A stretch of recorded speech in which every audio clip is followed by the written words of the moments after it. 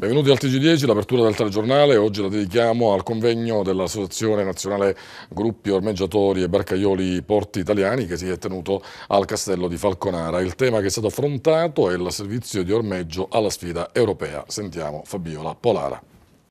Dottoressa, le infrastrutture portuali di Gela vivono un periodo di assoluta sofferenza.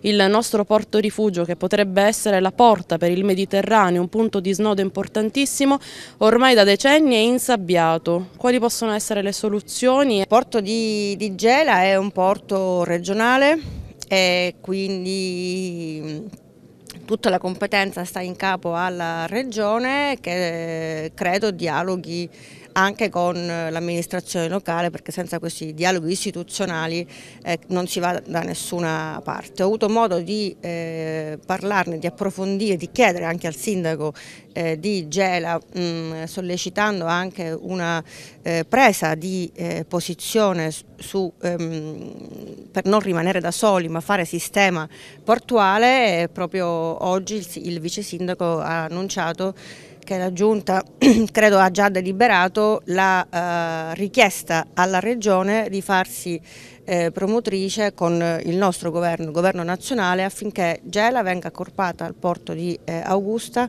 e quindi anche al porto di, di, Catania. Comandante, la vostra presenza qui è assolutamente oggi determinante, il vostro rapporto con gli, con gli ormeggiatori è un rapporto di assoluta simbiosi. Sì, non soltanto con gli ormeggiatori ma anche con tutti i servizi tecnico-nautici che orbitano intorno al porto e intorno alla capineria. Mi piace sempre dire al, ai servizi tecnici, ai piloti, agli ormeggiatori e quant'altro che sono i miei occhi in porto. Quindi eh, è un, eh, un eh, lavoro che viene fatto eh, in simbiosi con la capineria, per la capineria e come se appartenessero anche alla capineria. Noi mh, abbiamo scelto Gela ehm, per due ordini di motivi. Il primo, come dicevo nel corso della relazione, lanciare un faro su una realtà attanagliata dalla crisi e quindi testimoniare la vicinanza di questa associazione, di questa categoria professionale ai colleghi di Gela.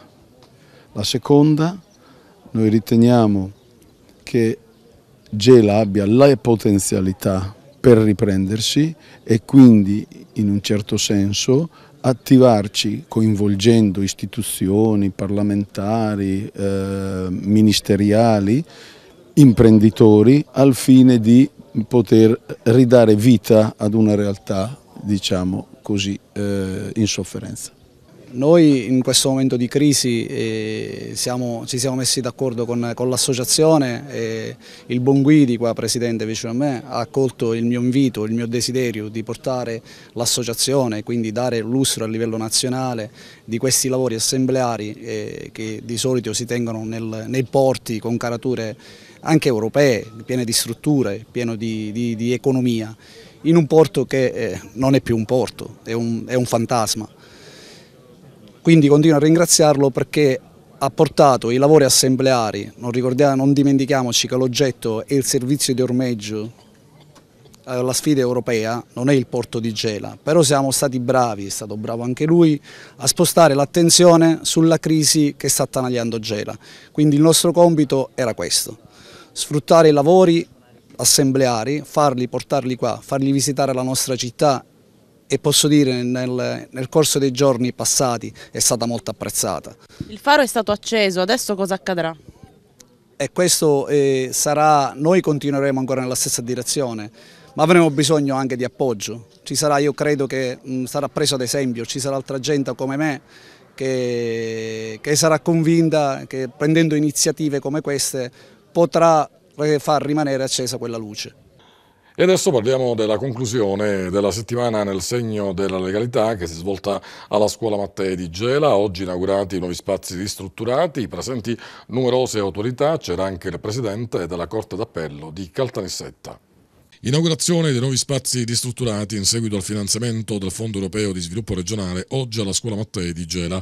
Il taglio del nastro è coinciso in occasione dell'ultima giornata di iniziative promosse in questa settimana dall'Istituto Scolastico in tema di legalità. Noi il seme lo dobbiamo buttare, questo seme troverà talvolta terreni fertili, talvolta l'aridità, però è compito della scuola questo farlo, la scuola assieme alle altre eh, istituzioni, la scuola rimane forse uno degli ultimi baluardi in difesa della trasmissione di valori culturali e morali fondamentali per la società. Se perdiamo questa sfida allora vuol dire che abbiamo perso la sfida per il futuro.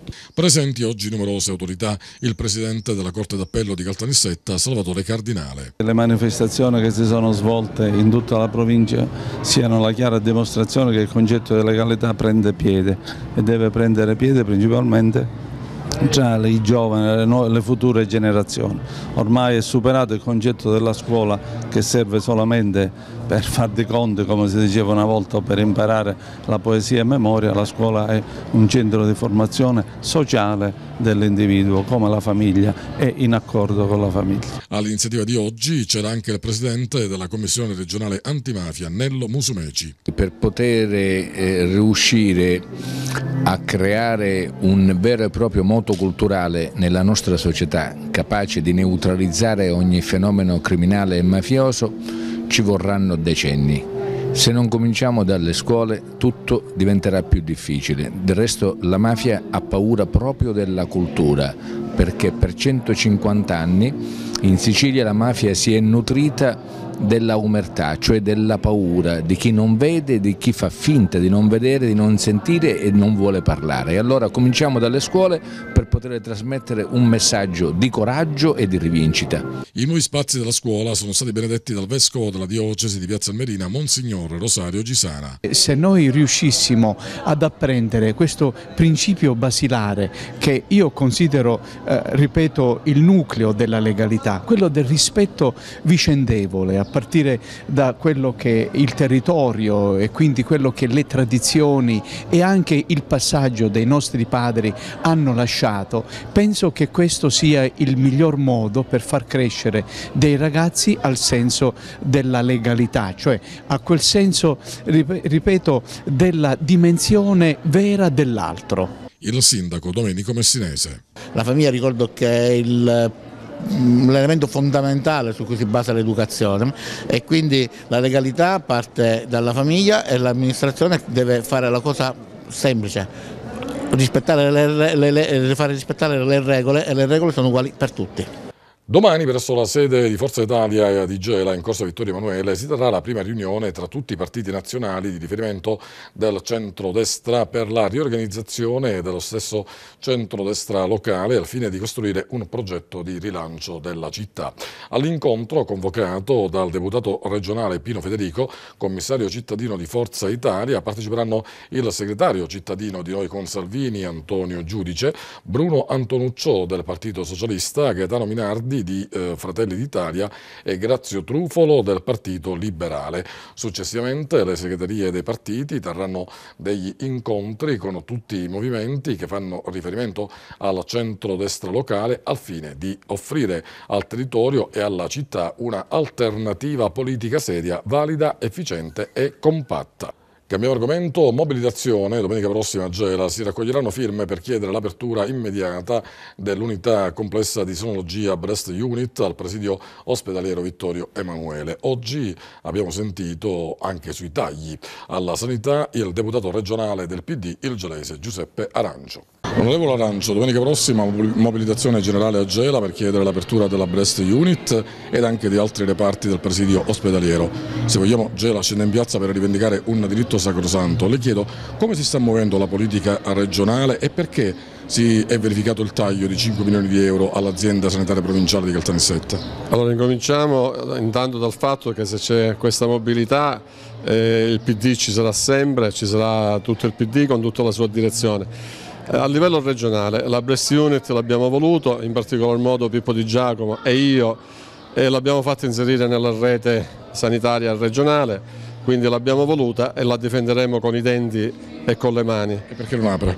Eh, non apre perché, eh, come ha detto lei, mancano questi 5 milioni e quindi eh, c'è la necessità che ci vengano assegnati questi 5 milioni in cui c'è stata la presa di posizione favorevole dell'assessore regionale nella conferenza dei sindaci di tutta la provincia di Caltanissetta. Il problema è che le procedure per arrivare ad avere questi 5 milioni sono lunghe e, e noi entro il 2017 eh, o entro la fine del 2016, quindi nel 2017 deve essere funzionante. Potremmo correre il rischio che non eh, si allineino i finanziamenti con, la, con il tempo massimo con cui si apre questa unità. Tempo non ne possiamo perdere, quindi quando c'è i cittadini che si muovono è una cosa importante, è un fenomeno sicuramente in cui, eh, che deve essere guidato. Poi parleremo eh, con l'ADOS da, da, cui è iniziata l'associazione Donne Operate al Seno, è iniziata eh, questa iniziativa per eh, farla diventare proficua. E da qui un appello a tutta la deputazione, non gelese, di tutta la provincia di Caltanissetta, perché quando ci sono i province a Caltanissetta io corro, quindi invito anche i colleghi di Caltanissetta a essere presenti, perché noi dobbiamo avere un incontro con il eh, Presidente della Regione e con l'assessore, in cui noi andiamo a depositare le nostre istanze, perché depositare, raccogliere le firme non basta se poi non c'è un atto esecutivo in cui interloquiamo con gli artefici cioè coloro i quali debbono aiutarci in questo processo. Il deputato regionale di Forza Italia Pino Federico punta l'indice accusatorio in merito a quello che sta accadendo al governo regionale. Governo regionale è chiaro, marca PD. Lui sa benissimo che ci sono delle procedure, i soldi ci sono e ci saranno, ma alla fine delle procedure. Noi non possiamo aspettare. Quindi questa è una battaglia di tutto il territorio invito a maggior ragione lui ad esserci in tutte le tappe eh, che saranno necessarie per arrivare all'obiettivo. L'ospedale di Gela sta rischiando di diventare una struttura di secondo piano non più capace di dare le giuste risposte alle esigenze sanitarie di un territorio peraltro devastato da un lungo e inesorabile inquinamento ambientale. Lo dice Lucio Greco di un'altra Gela, apprendere che somme promesse per migliorare alcuni servizi sanitari essenziali oggi sono a rischio ci portano a pensare che nei confronti della nostra città non c'è alcuna attenzione né da parte del governo regionale né da parte dei politici chiamati a rappresentare il territorio. Costringere gli stessi medici a organizzare manifestazioni di protesta rappresenta la prova che la misura è oramai colma. Certo, se Gela, tra le città più inquinate d'Europa, con il triste primato di patologie derivanti dall'insediamento industriale, fosse stata difesa da una classe politica seria e consapevole, oggi avrebbe un ospedale di eccellenza paragonabile alle migliori strutture sanitarie del nord Italia, dice Greco ma i responsabili maggiori di questa drammatica situazione non sono tanto i deputati regionali gelesi che, lo dice ancora Greco, per scarsa autorevolezza e credibilità non hanno alcun potere decisionale, ma quanto il presidente della regione che ancora una volta si sta dimostrando incapace di difendere gli interessi della sua città. A questo punto, chiude Greco, non potendo più fidarci di questi esponenti della politica gelese, non ci resta che protestare vibratamente per far valere avere i nostri diritti calpestati da chiunque e chi che sia. Sono Gabriele Giudice, Alessio Incorvaia, Omar Cicolone, studenti del liceo scientifico Elio Vittorini, vincitori del concorso Progetto Martina promosso dalla Lions Club di Gela. Al secondo posto si è classificata Martina Morana, terzo posto per Paolo Cagnes e Francesca Damante. Il progetto prevedeva la realizzazione di un video per la sensibilizzazione dei giovani alle malattie tumorali. I vincitori hanno ottenuto una somma in denaro offerta dalla Lions Club. Martina era una ragazza che ha perso la vita a seguito proprio di un tumore. Prima di morire ha espresso oh, l'idea di diffondere meglio fra i giovani eh, la prevenzione nei confronti di questa orribile malattia che è il cancro. Ecco, da lì è nato questo progetto, questo service, come noi lo chiamiamo, a livello nazionale, e noi ci siamo impegnati a realizzarlo anche a Gela. Gli stili di vita hanno un'importanza fondamentale di grande rilievo statistico nella prevenzione delle patologie tumorali, sicché diffondere la cultura degli stili di vita sani che hanno appunto questa efficacia statistica di abbattere l'incidenza dei tumori e diffonderla proprio tra le nuove generazioni è una mission dei Lions a livello nazionale e che abbiamo voluto fare questa volta anche a Gela e abbiamo voluto farlo anche grazie alla preziosissima collaborazione del liceo scientifico, della preside di tutto il corpo insegnante e questa volta abbiamo voluto farla con un maggiore coinvolgimento dei ragazzi. Il nostro Presidente quest'anno per focalizzare meglio questo progetto Martina ha voluto che fossero estesi agli alunni con, il, il, con un compito in modo da focalizzare meglio. Anche per noi quindi è importante che i ragazzi acquisiscano consapevolmente corretti stili di vita ma che riflettano criticamente su determinati comportamenti che non devono essere fatti o che possono essere fatti soltanto in determinate occasioni. Quindi la scuola non può non accogliere eh, dei progetti così validi che in qualche modo possano aiutare i nostri ragazzi a crescere in maniera più eh, corretta eh, possibile. Durante l'iniziativa sono stati consegnati anche attestati di merito a Marco Battaglia, Antonio Cafà, Adriana Cinardo, Alessio Giardina e Noemi Iozza. Predisporre un bando per la concessione dell'agevolazione della tariffa del servizio idrico a favore di nuclei familiari in condizioni economiche disagiate, quanto chiedono alla Giunta Comunale di Gela i consiglieri di Reset 4.0 Luigi Di Dio e Francesca Caruso, chiesto anche di destinare ulteriori risorse, oltre a quelle finanziate dall'assessorato della famiglia, delle politiche sociali e del lavoro, per far scorrere la graduatoria per l'erogazione dell'assegno economico pubblico per il servizio civico a favore di cittadini che versano in condizioni di disagio economico. La richiesta, dicono i due consiglieri, arriva in considerazione del fatto che la crisi finanziaria ed economica che stiamo attraversando rappresenta un momento veramente delicato per la città. Sono molte le persone, le famiglie che oggi, anche a causa di questa crisi, sono venute a trovarsi in grave difficoltà e quindi non riescono più a mantenere il loro abituale tenore di vita. Torna come ogni venerdì questa sera a Gorai, il rotocalco settimanale di Canale 10, ideato e condotto da Franco Gallo, avrà un parterre di ospiti di tutto riguardo, quattro deputati regionali e il primo cittadino di Gela, Domenico Messinese, per capire cosa vuole fare la regione siciliana di questa città e di questo territorio. Dalla vertenza Gela, della quale si parla sempre meno, alla vicenda dei ritardi nell'avvio di servizi sanitari divenuti fondamentali per la popolazione gelese, al mancato avvio del progetto progetto di rilancio del porto. Tanti temi caldi che saranno dibattuti dall'importante salotto televisivo di Agora, dunque vi rinnoviamo l'appuntamento questa sera alle 21 sulla nostra emittente. Ci fermiamo, linea alla regia per la pubblicità. Benvenuti, seconda parte del telegiornale. Da Gera, il polo industriale più sud dell'Europa, Assotir, Associazione Italiana Imprese di Trasporto, lancia l'ultima chiamata all'Italia e all'Europa contro la crisi dei mercati, la concorrenza internazionale. La Sicilia sia hub del Mediterraneo, una vera piattaforma intermodale con strade, autostrade, ferrovie, porti e aeroporti, crocevia dei mercati dell'Europa che guardino ai paesi eh, frontalieri e alle economie emergenti. Questi i temi che verranno affrontati inaugurati domani eh, dalle 9 nei locali dell'Hotel Villa Pretti in occasione del convegno nazionale La Sicilia Hub del Mediterraneo. È prevista la presenza tra gli altri del Presidente della Regione Rosario Crocetta, del Sindaco di Gela Domenico Messinese, del Presidente regionale Assotir Salvatore Sciagura e del Sottosegretario ai Trasporti la Senatrice Simona Vicari. Saranno due le tavole rotonde moderate dalla giornalista Monica Dorno in cui si alterneranno addetti ai lavori e politici.